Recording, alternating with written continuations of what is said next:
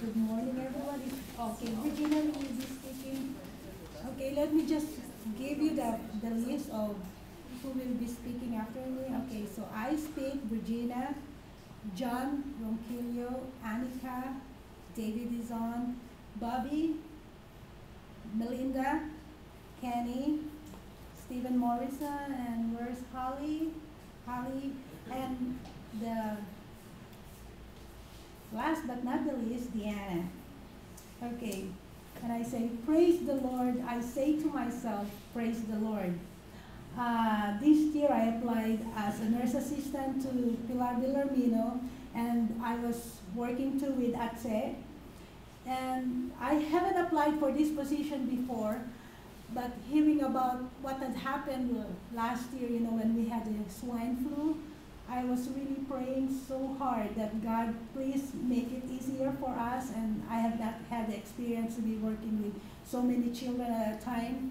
And I guess, thank you, Lord God, for hearing my prayers and the prayers of others because it was really very easy this year, as I would say.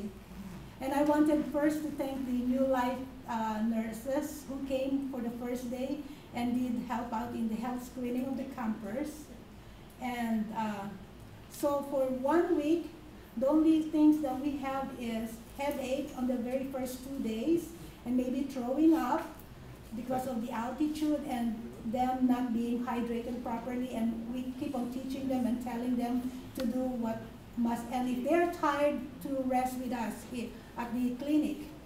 So we never had any coughing, no high temperature, and no hospitalization. So you can imagine what are we doing at the at the nurses station? We're just fellowshipping and just giving praises to God.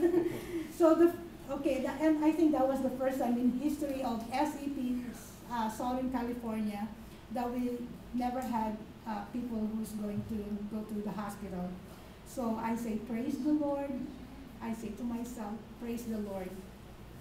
And the theme for this year's SEP is in pursuit meaning that our Father God, in all His greatness, is continually in pursuit of us for a relationship.